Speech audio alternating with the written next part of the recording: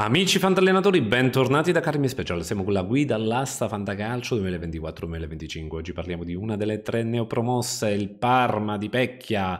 Spero siate entusiasti di questa serie sull'analisi tattica, anche perché molti mi dicono ma non è un po' presto? No, per l'analisi tattica no, perché andiamo a parlare di ruoli, che possono essere sollecitati offensivamente, che possono quindi far bene, non di nomi specifici. Poi chiaro che al momento la rosa è impostata in un determinato modo, quindi possiamo citare determinati giocatori, soprattutto quelli chiave per questo tipo di gioco, poi il calciomercato può modificare qualcosina, ma non non può stravolgere diciamo la tattica. Poi ovviamente ditemi nei commenti sempre la vostra opinione. Poi più avanti cioè dalla prossima settimana inizieremo a inoltrarci proprio sulla, sulle schede giocatori diciamo specifiche. Andiamo a vedere appunto il Parma. Ovviamente iscrivetevi se non siete ancora iscritti ragazzi mi raccomando e seguitemi sui social. Poi se non avete ancora testato Fantalab ragazzi io vi lascio il link in descrizione ok così poi avete anche per il primo anno il codice eh, sconto incluso altrimenti il codice è CARMI ok con la Y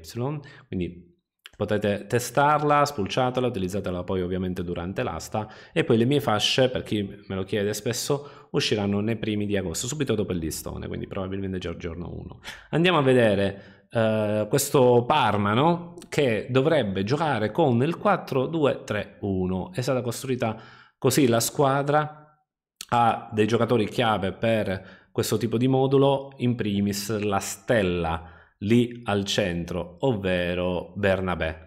Ok, è un, diciamo, un giocatore molto talentuoso, te- dotato tecnicamente ehm, e anche con una buona visione di gioco, dei piedi buoni, un buon tiro da fuori, insomma è il giocatore leader. Poi ne parleremo, faremo la sua scheda tecnica chiaramente nel vi consiglio al fantacalcio. A livello tattico, um, lui però, attenzione che non è solo il classico trequartista che si va magari ad inserire, è più un giocatore che gioca molto sia in rifinitura, quindi con dei, diciamo, passaggi che poi deve andare a fare magari alla punta o agli esterni, ma talvolta sia anche a bassa perché ha un buon, con la sua visione di gioco, anche un buon lancio, quindi può poi eh, mettere mm, i compagni con dei ottimi passaggi chiave eh, in condizione poi di fermare agli avversari. Uh, quindi grazie appunto, come detto, a visione di gioco, sia anche un buon uh, controllo del pallone e anche uh, un buon lancio sia a palla aperta che chiusa, perché non lo sapesse dipende un po' da um, diciamo, dall'avversario, se ti affronta, ok, ti viene incontro, diciamo, o meno, uh, può essere ritenuto appunto palla aperta, palla chiusa. Comunque, quindi questo per quanto riguarda la zona di tre quarti, abbiamo uh, un trequartista leader diciamo del gioco del Parma ma attenzione che ha anche un hype addosso importante poi gli esterni gli esterni sono protagonisti non a caso sia Ben Gizek che Man sono in doppia cifra, anche Mihaila, giocatore altro da bonus, sono tutti e tre molto interessanti come profili, ma dovrebbero essere listati attaccanti al momento, vedete un Benedicak ehm, con ruolo centrocampista, poi vedremo quale sarà quello ufficiale fantacalcio. Uh, quindi giocatori molto interessanti ma più utili forse come jolly, ok? Come per certi versi un po', in alcuni casi il Sule dell'anno scorso, anche se Sule dobbiamo anche un po' ipotizzare un rendimento magari un po' più spalmato perché ha fatto molto bene all'inizio e poi si è fermato ok? Um, oppure un Luvumbo mi viene in mente. Luvumbo è stato il classico jolly l'anno scorso ok? Quindi aspettatevi da questi giocatori un rendimento di quel tipo Bonni, parliamo di, della punta, è un attaccante che gioca molto bene con i compagni, ma si allarga parecchio. Se io vi vado a prendere ad esempio la hitmap di Bonni, visto che parliamo comunque di analisi tattica, se vedete ha, paradossalmente è, vuota al centro dell'area di rigore ma è molto più rossa all'esterno proprio perché è più un attaccante no? uh, di dialogo non a caso ha fatto più assist che gol 7 assist e 5 gol quindi occhio a questo aspetto perché magari possiamo aspettarci un, una buona media voto ok un buon rendimento anche una discreta fanda media ma la uh, fanda media esplosiva diciamo è, è, meno probabile. Poi magari fa la super stagione alla Zirkzee, ok? Perché lo stile può essere quello. però attenzione che non è, non è, così scontato che abbia una fantamedia altissima, ok? Proprio perché per quella servono anche poi tanti più 3.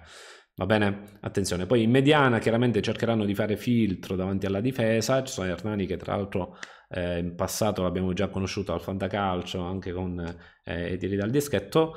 Per quanto riguarda la fase difensiva, i due terzini sono molto interessanti, sia del Prato, giocatore eh, molto discusso perché ha fatto una buona stagione l'anno scorso. Ehm, l'unica cosa, ragazzi, sia lui che Valeri hanno un problemino, ragazzi, sono le ammonizioni. Lui ne ha prese 5 la scorsa stagione, non è super tragica la cosa, ok? Non sono tantissime, però insomma eh, potrebbero essere messi un po' in difficoltà su quell'aspetto, però entrambi dovrebbero comunque portare dei bonus.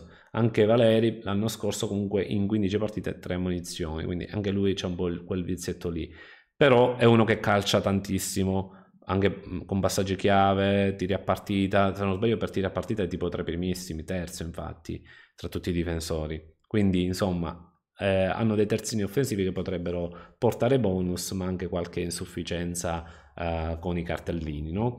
A livello di centrali e portiere, sono sincero, non mi aspetto un rendimento clamoroso come una squadra super difensiva però ben accoppiata, quindi utilizzandola magari nelle partite facili, potrebbero avere un discreto rendimento a quel punto sia i centrali che il portiere. È arrivato appunto ehm, adesso Suzuki, giovane giapponese, e vedremo se appunto si prenderà il posto da titolare, probabilmente vista la spesa fatta su di lui è molto probabile. Ok, però valutiamo anche in base al precampionato per questo aspetto.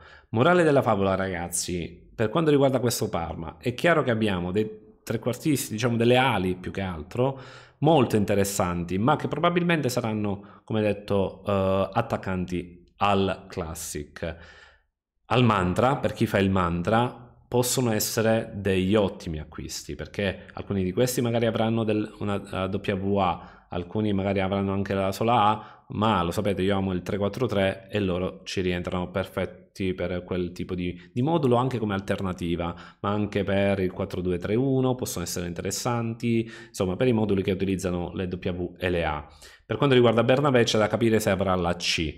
Uh, sì, dovrebbe avere, sì, avrà sicuramente la T, ma non, non sono convintissimo possa avere la C. Vedremo, vedremo, perché quella può essere d'impatto. Come trequartista, insomma, eh, avrebbe un determinato valore, come C potrebbe essere uno dei più golosi, ma ne parleremo nella sua fantascheda del Vigosi al Fantacalcio proprio perché ci sarà poi il focus su di lui e anche sui giocatori più interessanti ovviamente da prendere per il Parma. Voglio sapere però la vostra qua sotto nei commenti uh, chi vi ispira di più, chi vi sembra magari più una trappola, una esca magari da poter utilizzare al, all'asta ok? Quindi vi aspetto nei commenti con il vostro commento. Detto ciò io vi rimando poi ovviamente a domani con l'analisi. Domani ci sarà il Venezia di Di Francesco. E attenzione che anche lì ci sarà un po' di roba da andare a pescare e alcuni dettami tattici da discutere. Va bene? Ci vediamo come detto domani. E anche sui social. Seguitemi sui social perché appunto pubblico